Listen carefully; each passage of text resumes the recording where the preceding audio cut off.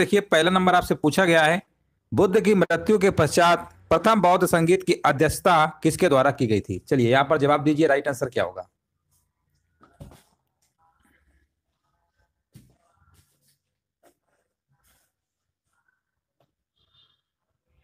हाँ यहाँ पर देखिए, जवाब आ गया, कह रहे हैं महाकश्यप के द्वारा, बिल्कुल सही है। है ना, बिल्कुल सही जवाब दिया गया, जिनका भी जवाब आ रहा है, ऑप्शन नंबर ए, बिल्कुल करेक्ट आंसर है। अगला प्रश्न बताइए। हाँ बिल्कुल सही जवाब है। नेक्स्ट प्रश्न बताइए। यहाँ पर देखिए, आपको बताना, जेजाक भुक्ति निम्नलिखित में से किसका प्राचीन नाम था? चलिए कमेंट करिए। जेजाक भुक्ति निम्नलिखित में से किसका प्राचीन नाम था? यहाँ पर देखिए राइट आंसर बताइए क्या होगा। और यहाँ पर देखिए, जवाब बताया जा रहा है, कह रहे बुंदेलखंड का। बिल्कुल सही जवाब है, कुछ लोग मालवा का मार रहे हैं, है ना? आई, मालवा नहीं है है ना? बुंदेलखंड का है ऑप्शन नंबर ए होगा।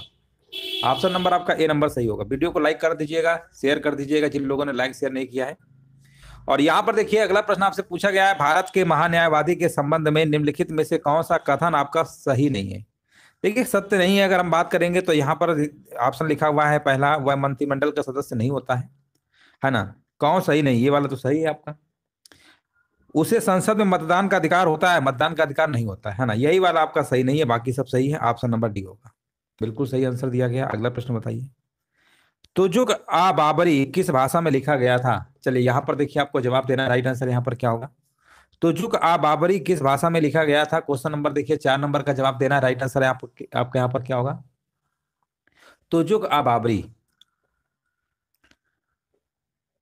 हाँ यहाँ पर देखिए जवाब हमारे बीच आ गया है। कह रहे हैं तुर्की में। बिल्कुल सही जवाब है ऑप्शन नंबर सी होगा। हाँ बिल्कुल राइट आंसर दिया गया। अगला प्रश्न बताइए। बिल्कुल सही जवाब है। मूर्ति पूजा का जो आरंभ है, कब से माना जाता है? ऋग्वैदिक काल से, कुषाण काल से, मौर्य काल से या पूर्व आर्य काल से, है ना? तो यहाँ पर अगर हम बात करेंगे, मूर्ति पूजा का जो आरंभ है, कब से माना जाता है तो यहाँ पर आंसर आपका होगा, पूर्व आर्य विकल्प आपका डी नंबर होगा। कुछ लोग कुषाण मार रहे हैं, है ना? कुषाण नहीं है, पूर्व आर्य, इसका आंसर सही है। ऑप्शन नंबर यहाँ पे डी नंबर आपका बिल्कुल करेक्ट आंसर आपका होगा। अगला प्रश्न बताइए, किस पशु को भारत का राष्ट्रीय धरोहर पशु घोषित किया गया है? है ना प्रश्न हमने करा चुके हैं, इसके पहले क्लास में कराया है।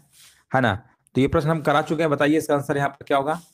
किस पशु को भारत का राष्ट्रीय धरोहर पशु घोषित किया गया है? तो यहाँ पर आपका एलिफेंट होगा हाथी। अगला प्रश्न बताइए। सम्राट हर्ष ने अपनी राजधानी थानेश्वर से कहाँ पर स्थानांतरित की थी? बताइए। यहाँ पर देखिए, जवाब देना है, एग्ज़ाम में प्रश्न बहुत बार पूछा गया है। और यहाँ पर देखिए, जवाब हमारे बीच आ गया है। सात नंबर कह रहे हैं।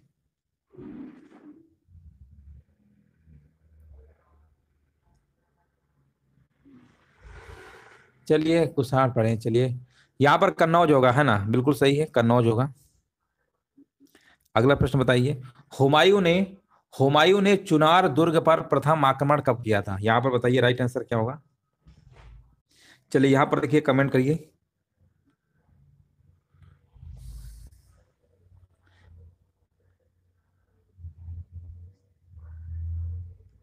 हुमायूं ने चुनार दुर्ग पर प्रथम बार आक्रमण कब किया था?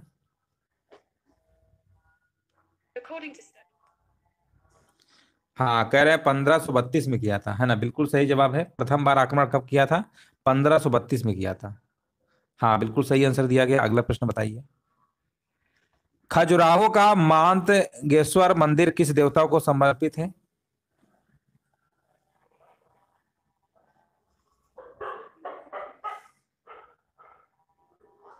हाँ यहाँ पर देखिए जवाब आ गया है। बिल्कुल सही जवाब दिया गया है। भगवान विष्णु को विष्णु कह रहे हैं, भगवान शिव को, है ना?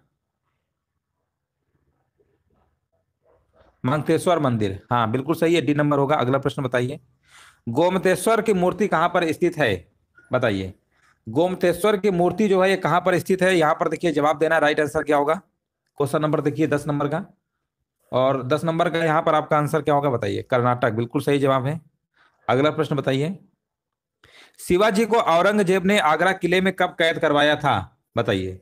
शिवाजी ने, शिवाजी को औरंगज़ेब ने आगरा किले में कब कैद करवाया था? हाँ बिल्कुल सही आंसर दिया गया। कह रहे ग्यारह नंबर का जवाब आ गया है। सोलह छाछठ बताया जा रहा है। बिल्कुल सही है। ऑप्शन नंबर आपका ए नंबर। बिल्कुल करेक्ट आंसर आपका होगा। अगला प्रश्न बताइए। बंगाल का प्रथम गवर्नर कौन था? बंगाल का प्रथम गवर्नर कौन था?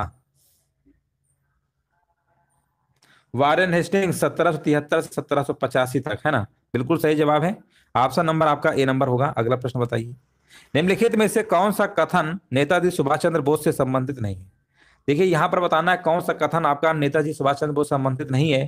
तो यहाँ पर देखिए, पहला आपका तो सही है, दूसरा भी सही है। ये वाला नहीं है। या वह संविधान की मसौदा समिति के सदस्य थे, ये आपका गलत है है ना? बाकी सब सही है आपके। आपका सी नंबर सही होगा आंसर। चलिए, लाल बाल पाल नाम से प्रसिद्ध स्वतंत्रता सेनानी क्रमशः किन भारतीय राज्यों से संबंधित हैं? ये भी प्रश्न हमने कई बार कराया है। तो देखिए, लाल बाल पाल, यानी लाल, लाला लाजपत राय, बाल गंगाधर तिलक और विपिन चंद्र पाल। अगर इनकी हम बात करेंगे तो यहाँ पर आपके पंजाब, महाराष्ट्र और बंगाल ये क्रम है आपका। चौदह नंबर का यहाँ पर डी नंबर आपका बिल्कुल करेक्ट आंसर आपका यहाँ पर होगा। नेक्स्ट प्रश्न बताइए। निम्नलिखित में से यहाँ पर बताइए, फायान। देखिए, निम्न में से फायान जो है, किसके शासन काल में भारत आया था? बताइए इसका आंसर यहाँ पर क्या होगा? पंद्रह नंबर का। हाँ बिल्कुल देखिए, पंद्रह नंबर का जवाब हमारे बीच आ गया है। कह रहे हैं, चंद्रगुप्त, द्वितीय जिन्हें आप विक्रमादित्य कहते हैं, है ना? बिल्कुल सही है, पंद्रह नंबर का आपका ए नंबर, बिल्कुल करेक्ट आंसर आपका यहाँ पर होगा। अगला प्रश्न बताइए, इनमें से किस अवधि को भारत में स्वर्ण क्रांति के नाम से जाना जाता है? बताइए यहाँ पर किस अवधि को भारत में स्वर्ण क्रांति के नाम जाना जाता है? तो याद रखिएगा, उन्नीस सौ इक्यानवे से लेकर 2003 का जो टाइम पीरियड था, उसी को हम भारत में स्वर्ण क्रांति के नाम जानते हैं। ऑप्शन नंबर यहाँ पे बी नंबर आपका सही आंसर आपका हो जाएगा। अगला प्रश्न बताइए, यहाँ पर देखिए आपको बताना किस घटना के बाद महात्मा गांधी ने असहयोग आंदोलन को अपनी हिमालय जैसी भूल बताई थी? बताइए यहाँ पर आंसर क्या होगा? किस घटना के बाद महात्मा गांधी ने असहयोग आंदोलन को अपनी हिमालय जैसी भूल बताई थी? चौरी चौरा कांड, बिल्कुल सही जवाब है। ऑप्शन नंबर यहाँ पे क्या होगा? विकल्प नंबर आपका डी नंबर होगा।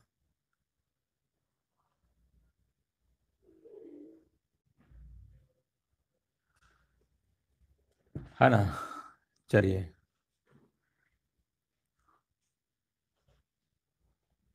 अगला प्रश्न बताइए। हाँ यहाँ पर बताइए, किस, यहाँ पर अगला प्रश्न है, भारत के किस राज्य को प्राचीन समय में, है ना, भारत के किस राज्य को प्राचीन समय में कामरूप के नाम से जाना जाता था? है ना, कामरूप के नाम से जाना जाता था, यहाँ पर देखिए आपको जवाब देना है।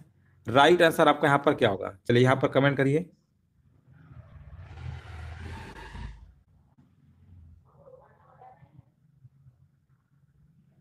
हाँ बिल्कुल सही जवाब दिया गया, यहाँ पर आपका असम होगा। बिल्कुल सही आंसर दिया गया है। अगला प्रश्न बताइए। चलिए, यहाँ पर बताइए। लिखा हुआ है, भारत के किस राज्य को लड़कती पहाड़ियों की भूमि के नाम से जाना जाता है? तो यहाँ पे राइट आंसर क्या होगा बताइए। हाँ यहाँ पर देखिए आपका जवाब आ गया है।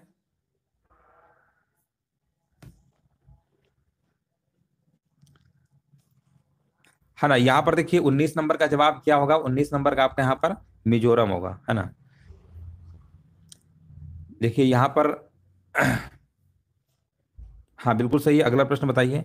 किसने कहा था कि मैं स्वभाव से ही समाजवादी हूँ? किसने कहा था?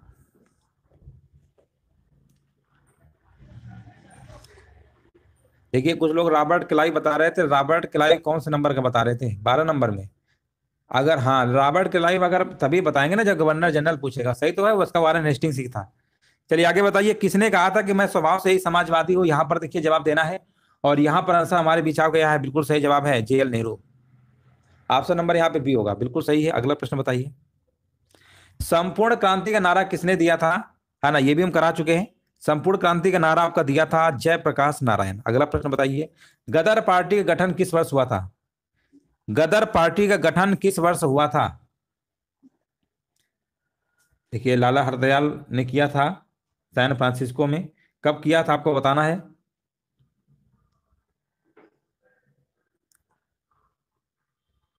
हाँ एक नवंबर 1913 बिल्कुल सही जवाब है ऑप्शन नंबर सी होगा। अगला प्रश्न बताइए। लाल कुर्ती आंदोलन के नेता का क्या नाम था? लाल कुर्ती आंदोलन के नेता का क्या नाम था? यहाँ पर देखिए जवाब देना है तेईस नंबर का। तो कह रहे हैं खान अब्दुल गफ्फार खान बिल्कुल सही ऑप्शन नंबर सी होगा। अगला प्रश्न बताइए। भगत सिंह को फांसी की सजा सुनाने वाला न्यायाधीश कौन था?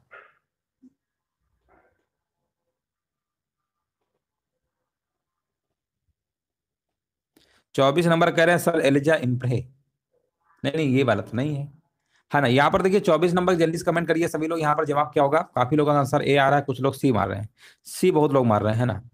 और सी भी मार रहे हैं, कुछ लोग डी भी मार रहे हैं। देखते हैं किसका सही है। आंसर तो देखिए, तीन प्रकार के आ रहे हैं, ए, बी, सी, है ना? ए, बी, सी आ रहे हैं तो इसमें आपका आंसर जिनका भी आ रहा है ना, जी सी हिल्टन, याद रखिएगा। जीसी हिल्टन ने मतलब फांसी की सजा सुनाया था, याद रखिएगा, एग्ज़ाम में कई बार पूछा भी गया है। GC Hilton.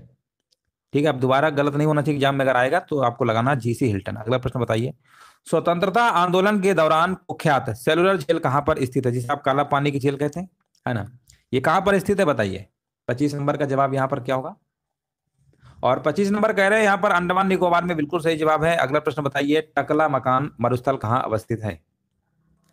टकला मकान मरुस्थल कहाँ अवस्थित है?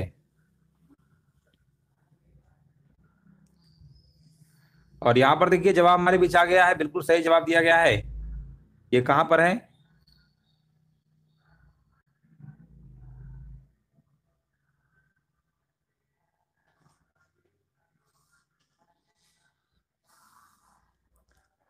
China plus. हाँ चाइना, बिल्कुल सही है। है ना, बिल्कुल राइट आंसर दिया गया, चाइना आपको लगा के आना है। बिल्कुल सही जवाब है, ऑप्शन नंबर ए होगा। अगला प्रश्न बताइए। चलिए यहाँ पर बताइए। राष्ट्रीय राजमार्ग फ़र्स्ट यानी पुराना क्रमांक इनमें से किन स्थानों को जोड़ता है? है ना, किन इन, किन स्थानों को जोड़ता है? यहाँ पर जवाब बताइए क्या होगा। तो यहाँ पर आपका जोड़ता है दिल्ली और Attari. Delhi, Attari, option number D है, बिल्कुल सही है। अगला प्रश्न बताइए। भारत में किस वर्ष में प्रस्तुत किए गए बजट को काला बजट कहा जाता है? देखिए, काला बजट वाला याद रखिएगा। काला बजट कहा गया था, यहाँ पर आंसर आपका हो जाएगा उन्नीस सौ तिहत्तर और चौहत्तर।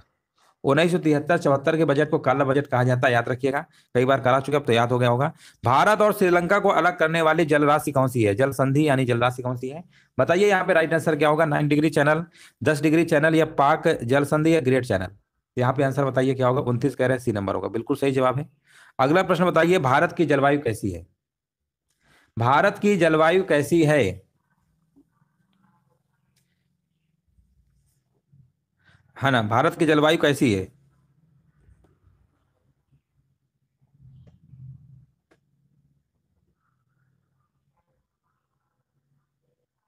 देखिए, भारत की जलवायु उष्ण कटबंधीय मानसूनी है है ना? उष्ण कटबंधीय मानसूनी है तो आपको मानसूनी लगा के आना है, बिल्कुल सही है। अगला प्रश्न बताइए। सम्राट अकबर का मकबरा किस शहर में स्थित है? है ना, सम्राट अकबर का जो मकबरा किस शहर में स्थित है तो आपका आगरा होगा। ऑप्शन नंबर डी होगा। अगला प्रश्न बताइए। भारतीय संविधान के इनमें से किस अनुच्छेद में कुछ दशाओं में काम, शिक्षा और लोक सहायता पाने के अधिकार संबंधी प्रावधान निर्दिष्ट किए गए हैं? कौन सा अनुच्छेद नंबर है आपका? तो यहाँ पर अनुच्छेद नंबर आपका इकतालीस याद रखिएगा, ऑप्शन नंबर ए होगा। छत्तीस से इक्यावन आपका नीति निर्देशक तत्व में आते हैं। भाग नंबर चार, आयरलैंड देश से लिए गए हैं। अगला प्रश्न बताइए। उत्तर कोरिया और दक्षिण कोरिया को अलग करने वाली अंतर्राष्ट्रीय सीमांकन रेखा को किस प्रसिद्ध नाम से जाना जाता है? है ना, किस प्रसिद्ध नाम से जाना जाता है? यहाँ पर बताइए। राइट आंसर क्या होगा? उत्तर कोरिया और दक्षिण कोरिया को अलग करने वाली अंतरराष्ट्रीय सीमा रेखा ये आपकी है अड़तीसवीं। कौन सी है? अड़तीसवीं है है ना? अड़तीसवीं। अड़तीस डिग्री। तो अड़तीस डिग्री यहाँ पर दिया नहीं गया तो ये ईशान सीमांकन रेखा को ही अड़तीसवीं कहते हैं। ये हमने बहुत बार बताया आपको। जब भी कभी अड़तीसवीं वाला आंसर ना मिले तो आपको सैन्य सीमांकन रेखा वाला विकल्प लगा के आना है। दोनों का मतलब एक ही है।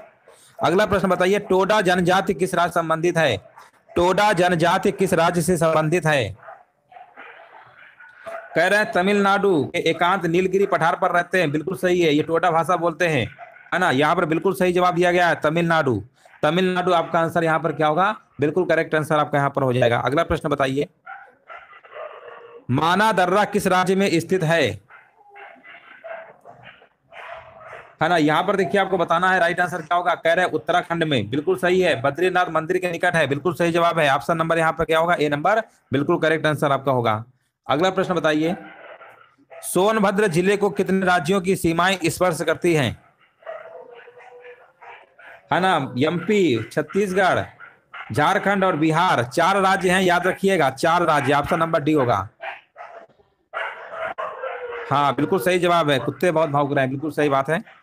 है ना, यहाँ पर देखिए, अगला प्रश्न बताइए भारतीय संविधान की इनमें से किस अनुसूची में राज्य या केंद्र शासित प्रदेशों को राज्यसभा की सीटें आवंटित किए जाने संबंधी प्रावधान किए गए हैं? तो यहाँ पे प्रावधान किए गए हैं, कौन सी अनुसूची है? ये भी प्रश्न हमने बहुत बार कराया है, चौथी अनुसूची।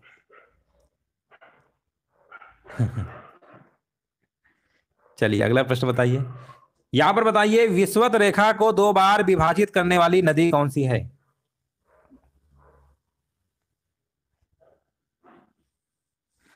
देखिए, आपका आंसर यहाँ पर क्या होगा बताइए।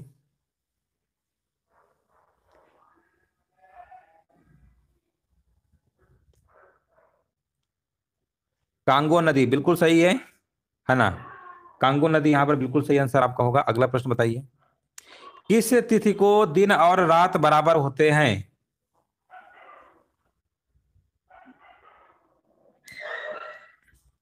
बताइए यहाँ पर उनतालीस नंबर का जवाब क्या होगा? सभी लोग कमेंट करिए जल्दी से। किस तिथि को दिन और रात बराबर होते हैं? कह रहे उनतालीस नंबर कह रहे डी होगा। इक्कीस जून। इक्कीस जून को तो सबसे बड़ा दिन होता है। हमने कहा बराबर होते हैं। बराबर होने का मतलब है तेईस सितंबर। ऑप्शन नंबर सी होगा। अगला प्रश्न बताइए। यहाँ पर बताइए, क्षय रोग किसके कारण होता है? क्षय रोग। ये आपका क्या है? बैक्टीरिया जीवाणु होगा। ऑप्शन नंबर सी होगा। अगला प्रश्न बताइए। निम्नलिखित घरेलू वस्तुओं में से किसमें सल्फ्यूरिक एसिड होता है, सिरका, बैटरी, टूथपेस्ट या मक्खन। घरेलू वस्तुओं में किसमें सल्फ्यूरिक एसिड पाया जाता है, बताइए। इकतालीस नंबर का जवाब यहाँ पर क्या होगा? इकतालीस नंबर का जवाब दीजिए, सभी लोग यहाँ पर कह रहे हैं बैटरी। बैटरी खोज किसने किया था? है ना? बैटरी खोज किसने किया था, आपको कमेंट में बताना है। हाँ बिल्कुल सही जवाब है, बिल्कुल राइट आंसर दिया गया बी नंबर आपका जवाब हो जाएगा। अगला प्रश्न बताइए। चलिए, बयालीस नंबर का देखिए जवाब देना है। निम्नलिखित में से बांग्लादेश का राष्ट्रीय खेल कौन सा है? चलिए, बांग्लादेश का राष्ट्रीय खेल कौन सा है? बताइए यहाँ पे बोल्टा, बिल्कुल सही जवाब है बताइए। बांग्लादेश का राष्ट्रीय खेल कौन सा है? बांग्लादेश का राष्ट्रीय खेल कौन सा है? तो यहाँ पर आपका जवाब हो जाएगा कबड्डी। कबड्डी कबड्डी पहले खेले होंगे आप सभी लोग, है ना? कबड्डी खेले होंगे। हमें ऐसा नहीं लग रहा कि किसी ने कबड्डी नहीं खेला होगा। जितने भी लोग लाइव हैं, सभी लोगों ने कबड्डी खेला होगा। अगला प्रश्न बताइए, भारत के किस राज्य में राष्ट्रीय जल क्रीड़ा संस्थान है? भारत के किस राज्य में राष्ट्रीय जल क्रीड़ा संस्थान है? तो यहाँ पर जवाब बताइए, क्या होगा? तैतालीस नंबर का। अच्छा हड्डी भी तड़वा है। चलिए बताइए, यहाँ पर जवाब क्या होगा? फोर्टी थ्री का। और फोर्टी थ्री का जवाब आ गया, कह रहे गोवा। ऑप्शन नंबर सी। कि संशोधन के तहत भारतीय संविधान के अनुच्छेद नंबर 45 में जोड़ा गया था कि मंत्रिपरिषद में प्रधानमंत्री सहित मंत्रियों कुल संख्या लोकसभा सदस्यों की कुल संख्या के 15 परसेंट से अधिक नहीं होगी। यह आपको जोड़ा गया था इक्यानवा संविधान संशोधन 2003 ऑप्शन जाएगा विकल्प नंबर बी के साथ। अगला प्रश्न बताइए बोरलाग पुरस्कार निम्न में से किस क्षेत्र में योगदान के लिए दिया जाता है? नारमन बोरलाग आपने नाम सुना होगा तो आप, आपको याद ही आ गया होगा। है ना विश्व में हरित क्रांति के जनक भारत में है ना स्वामीनाथन। आप तो समझ ही गए होंगे किससे संबंधित है। और उम्मीद है आंसर सभी का सही आएगा बी नंबर। हाँ बिल्कुल सही है, पैंतालीस नंबर, देख, कुछ तब भी मार रहे हैं। नार्मन बोला हरित क्रांति कृषि संबंधित है, विज्ञान कैसे हो जाएगा? चलो, अगला प्रश्न बताइए, भारत के पूर्व प्रधानमंत्री पूर्व प्रधानमंत्री इंदिरा गांधी ने निम्नलिखित में से कौन सी पुस्तक लिखी थी? ऑप्शन दिए गए wings of fire, discovery of India my experiment with truth या माई ट्रूथ? छियालीस नंबर का कमेंट करिए, जल्दी से यहाँ पर क्या होगा? छियालीस कह रहे हैं डी नंबर होगा। बिल्कुल सही जवाब है, बिल्कुल राइट आंसर दिया गया है। है ना, बिल्कुल सही जवाब है। अगला प्रश्न बताइए।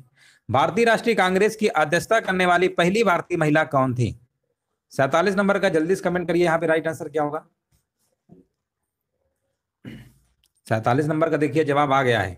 हमें मालूम था कि आप लोग ए मारेंगे।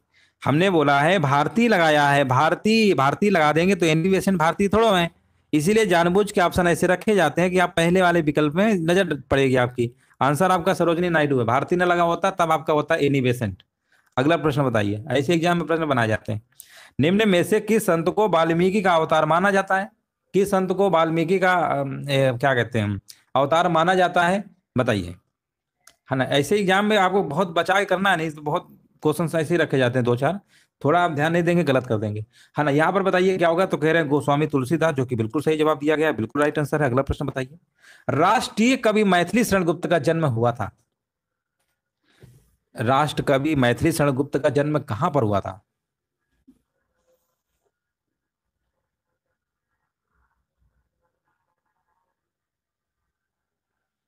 उनचास कह रहे उन्नाव में हुआ था।